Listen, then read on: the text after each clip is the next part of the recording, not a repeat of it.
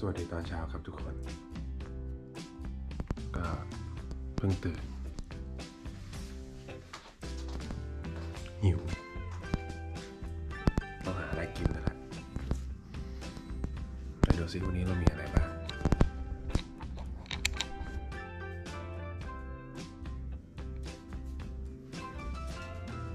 มมีคนเตรียมของมาให้มาแล้วกูเตรียมเองนี่แหละแล้วก็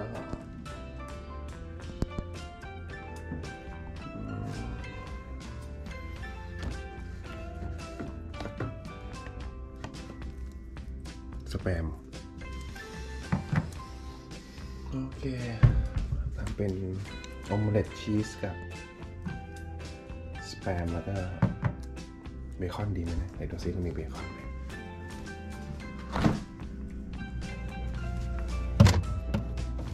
น่าจะเบคอนละแล้วล่ะ less cooking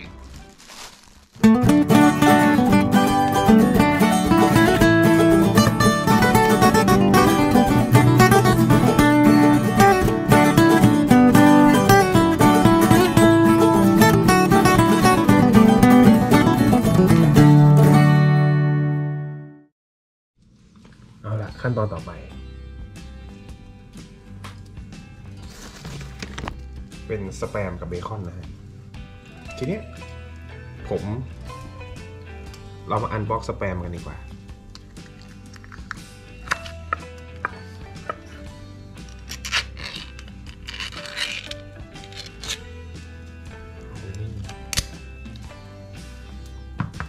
ไม่เหมือนอาหารหมาเลยอะ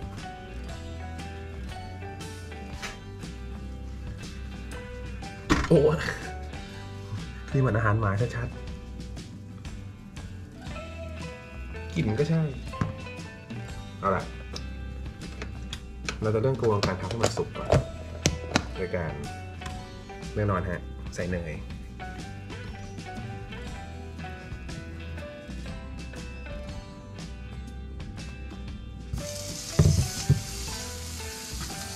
และเราจะใส่สแปมลงไปทั้งหมดนี้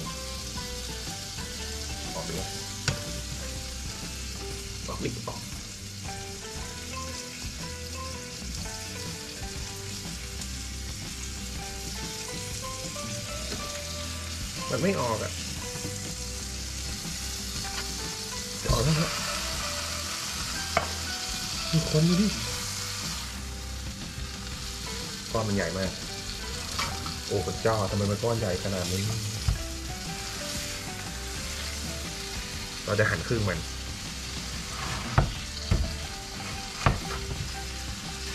นี่กูไม่ต้องพึ่งเบคอนแล้วแหละ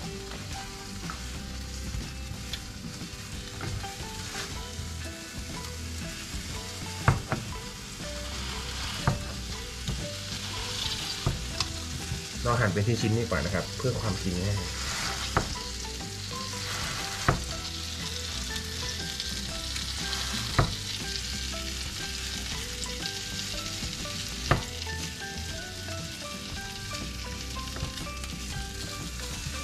โอเค ทรงก็จะประมาณนี้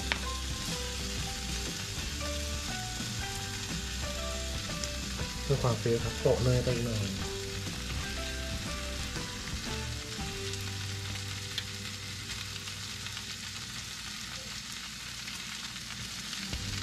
แน่นอนจริง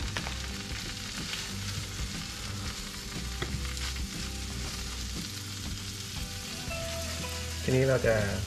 ผัดให้มันสุกนะครับ let's go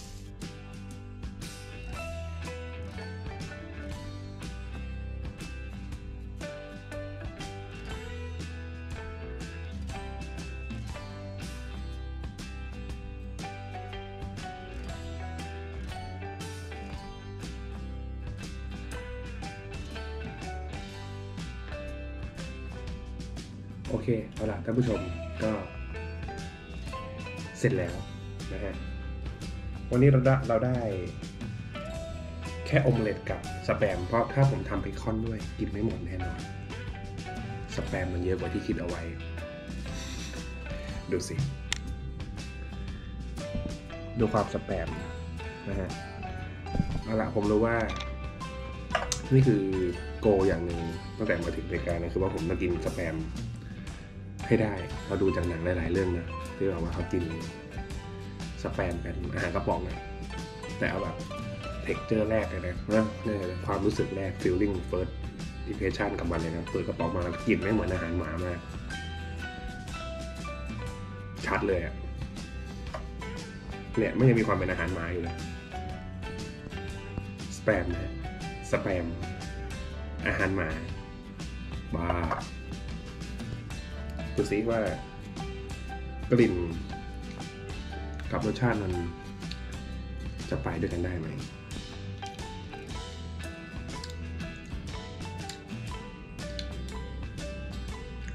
ลองดูนะ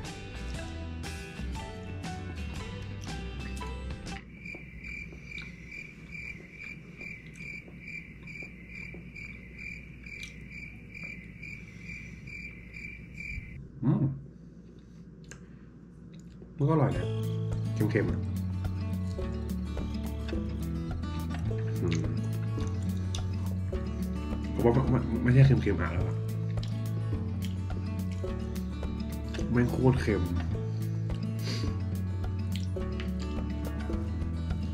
ก็หลังจากกินไปสองคำแนะนำให้กินขนมปังจะดีมาก คือมันซับเค็มเลยแต่ว่ากินเพียวๆเงี้ยเค็มปีเลย ก็นี่ฮะ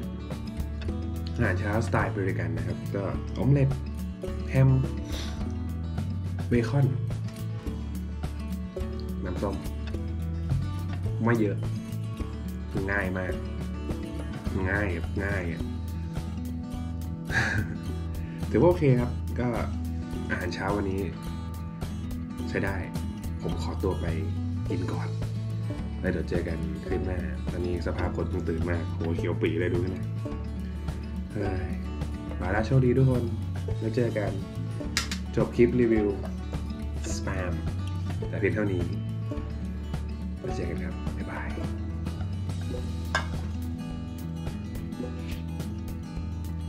ยังไงก็อย่าลืมกดไลค์กด subscribe กดติดตามอย่าเก็บกดติดตามผมเพื่อเป็นกำลังใจให้ด้วยนะครับ เก็บไม่ไหวแล้วไปหาขนมปังกินก่อนบ๊ายบาย